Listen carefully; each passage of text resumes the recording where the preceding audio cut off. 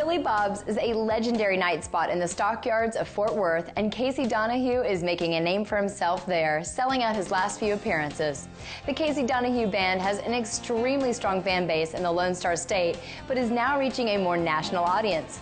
We caught up with Casey backstage before yet another sold out show at Billy Bob's to talk about his style of music.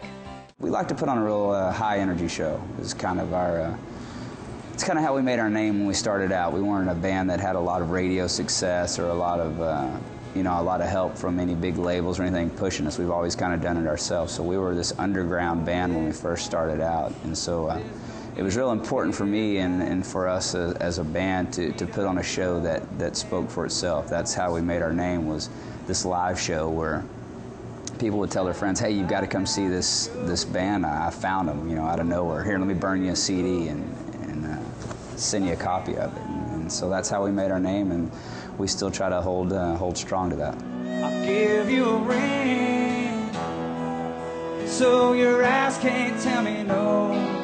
Ten years ago, I, I, didn't have a clue what was going on. So I was, uh, we, were, we, we started out at this little bar right across the street that held, uh, I think, 65 people, and sometimes we'd get uh, 40, 40 or 50 people to come see us, and we, you, know, you thought you were a rock star. And so, little did you know there was a, a lot further, uh, lot further to go. But we, have been, uh, we've been lucky. I, you know, I, I don't know uh, how to put a finger on where, where the luck changed or whatever. I think it's just all that uh, we have great fans, and I think, I think that uh, me and this band and, and Melinda and uh, the way we run our business and the way the way we conduct ourselves. I think there's a believability. I always use this term believability. I don't know if it's. I need to look it up and see if that's a real word or not. But I always use this word believability, and I think that that translates to our fans, and I think our fans respond to that and can tell that we're just uh, normal guys who like to get up on stage and play music and have fun, and uh, and I think uh, they appreciate that. She's a rockin' this redneck's world. She's welcome man.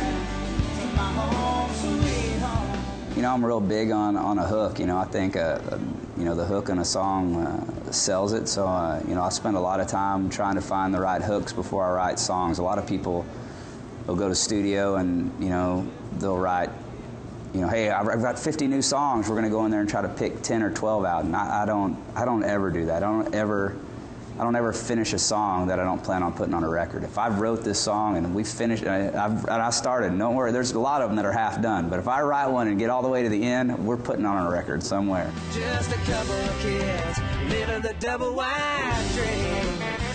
You know, the fans in Texas, uh, this is. Uh, it's second nature. You know, Texas Red Dirt music, music has been here since uh, you know, mid 90s, uh, somewhere in that, that ballpark. So, you know, we've, it's 16, 17, 18 years worth of uh, getting used to this. So it's pretty common down here. You see a lot of Texas, uh, Texas red dirt shows, festivals, fairs, a lot of bands. There's, there's a show in, in your town every week, I can assure you.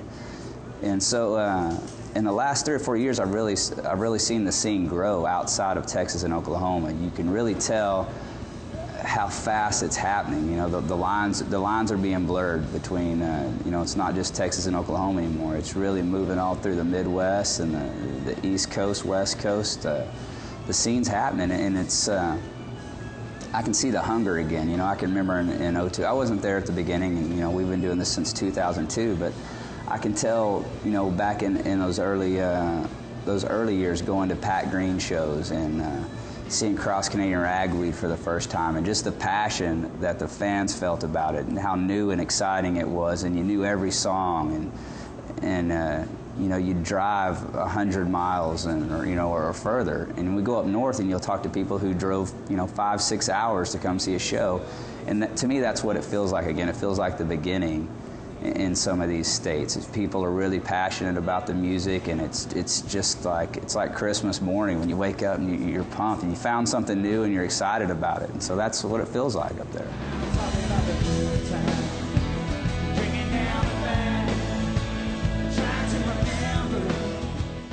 Casey and his band stick around to meet with fans after every single show, making him a very accessible and down to earth country artist. You definitely need to take in a CDB show when he comes to your area.